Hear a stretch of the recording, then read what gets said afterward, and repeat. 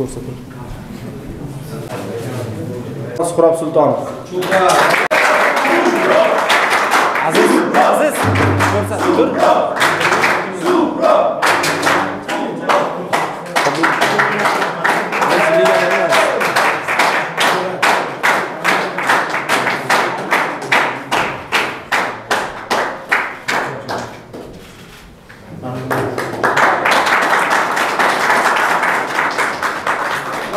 yana bir omadini sinab ko'rib yana o'zimizni safimizga qaytgan va bu yil e, murabbiylarimiz juda katta ishonch bildirayotgan futbolchilarimizdan biri Dilshodbek Jo'rayev.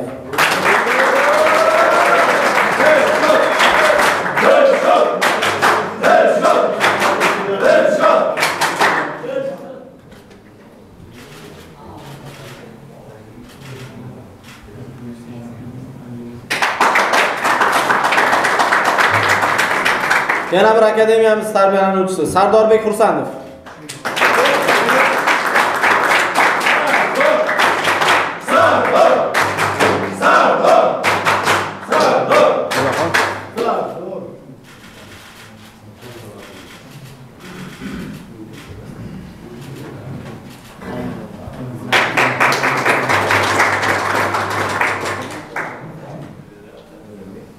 Hujumchi Usmonali ismonaliyev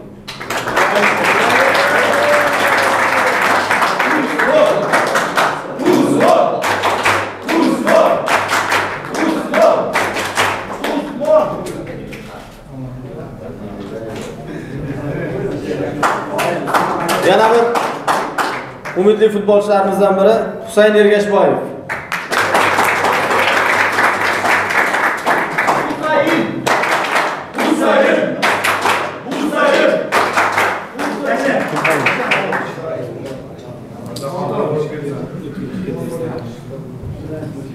Jamoamizga yangi legionerlar taklif etdik va bu haqida o'sha ijtimoiy tarmoqlarimizda va saytlarimizda xabar berib o'tdik. Aynan e, legionerimiz Dmitriy Pavlovich.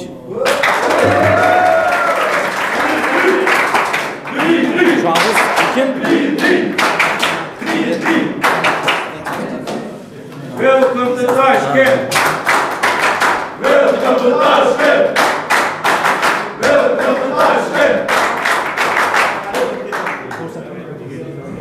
Demak, jamoamizga yana bir legioner taklif etgandik. Ayrim e, hujjatlar bilan bog'liq, viza bilan bog'liq muammo sababli e, Toshkentga kela olmadi, lekin tez kunlarda hujjatlar bilan bog'liq muammolarni hal qilib jamoamizga e, olib kelib olamiz. Fransis Nah 8-raqamda.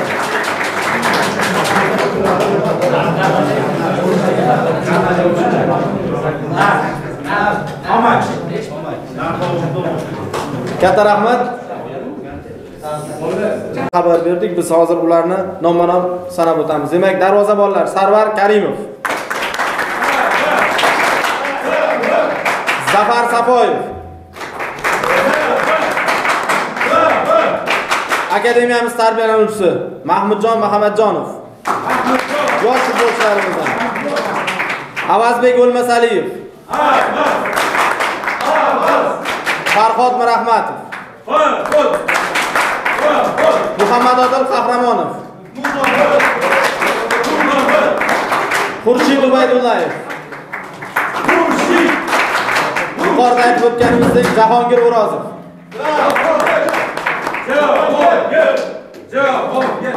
O'tgan mavsumda jamoamiz tarkibida samarali faoliyat yuritgan legionerimiz Odiljon Abdurahmonov.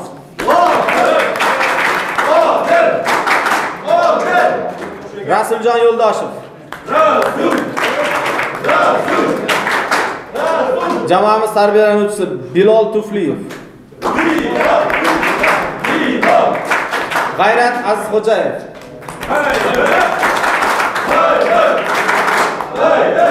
Sirojiddin Bashirdinov. Jamoamiz tarbiyalanadi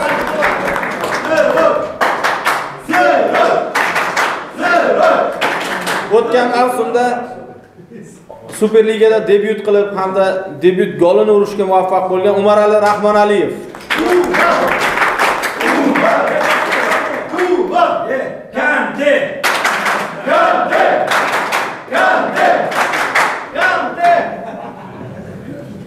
Suhrob Izzatov.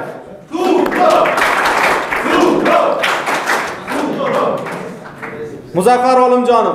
Bu yigitimiz ham o'tgan mavsumda debyut yana bir legionerimiz ibrohim tamiyeva.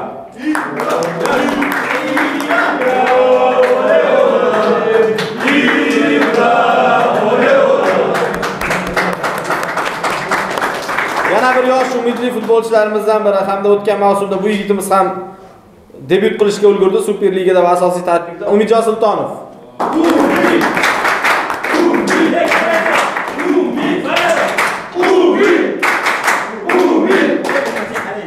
Umidimiz umiddan demoqchi bo'ldi muxlislarimiz. Va aynan oxirida ikki futbolchini e'lon qilmay turdim va hozir e'lon qilmoqchiman. Biz tezroq sog'ayib jamoamiz tarkibiga qaytishini umid qilayotganimiz hamda tezroq jamoamiz g'alabalariga hissa qo'shishini xohlayotganimiz farruh ikromov olqishlab qo'yamiz. Va albatta jamoamiz sardori davronjon ergashev.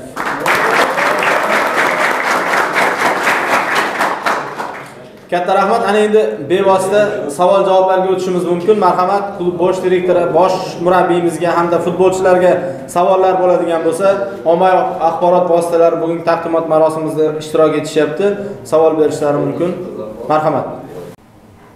Narzullo aka. Savolim bor. Turkiyalik yig'inlar qanchalik ko'nglingiz to'ldi-yu, nimadan ko'nglingiz to'lmadi? Endi e, avvalambor assalomu alaykum Chigant Aziya ishchilariga.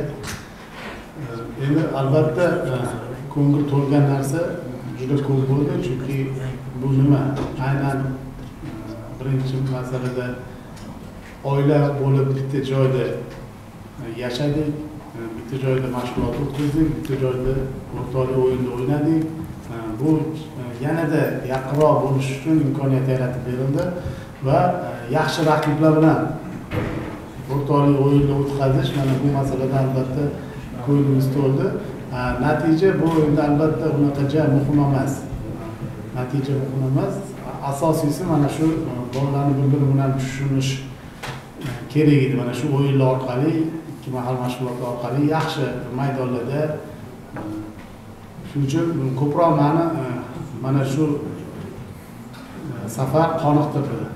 E, qoniqmagan narsa manimcha bo'lmadi hammasi yaxshi xudoga shukur buyog'i xudo xohlasa endi o'ylaymanki mana shu bizani o'tkazgan har bir mashg'ulotlarimiz o'rtoqlik uchrashuvimiz mana shu natijani endi xudo xohlasa chempionatda beradi degan umiddaman.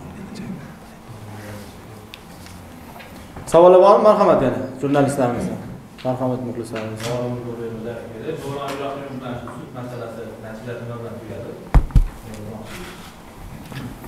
Javlon Ibrohimov masalasidagi e, sud e, 15 dekabr kuni oxirgi e, tinglash e, jarayoni bo'lib o'tgan, ya'ni слушание deymiz, ya'ni e, onlayn tarzda bo'ldi bu.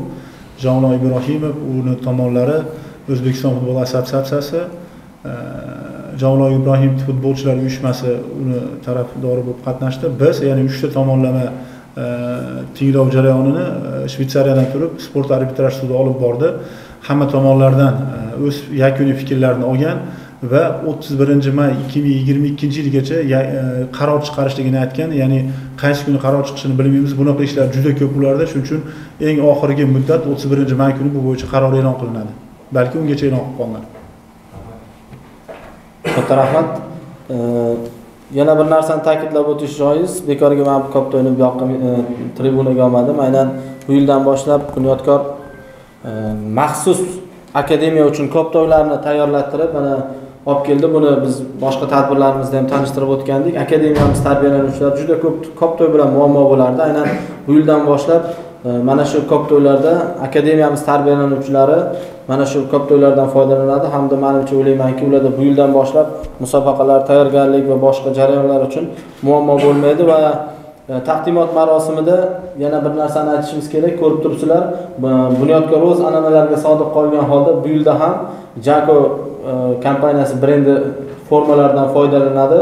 Demak e, ko'k hamda oq e, игровой forma deydi ya'ni o'yin formasi mana shu ranglarda bo'ladi hamda o'yinga o'sha paradniy formamiz yuqorida oxiridagi ko'rib turganinglarda shu aynan Jakob brendlaridan foydalanishga qaror qildik sodiq qolgan holda Agar jurnalistlarimizda savol bo'lmaydigan bo'lsa, biz taqdimot marosimini yakunlaymiz. E, chunki ertaga asosiy jamoamiz o'yinni boshlaydi. Musobaqaga tayyorgarlik ko'rish kerak. Bugun so'nggi o'yin oldi tayyorgarlik mashg'ulotlari bir necha daqiqalardan so'ng boshlanishi kerak. Aynan mana shu uchun bugungi taqdimot marosimini yakunlaymiz va futbolchilarimizdan jamoaviy tarzda esdalik uchun suratga tushishlari uchun taklif sahnaga taklif etib qolamiz. Dastlab shu yangi e, tanishtirilgan futbolchilar marhamat qilib Zaten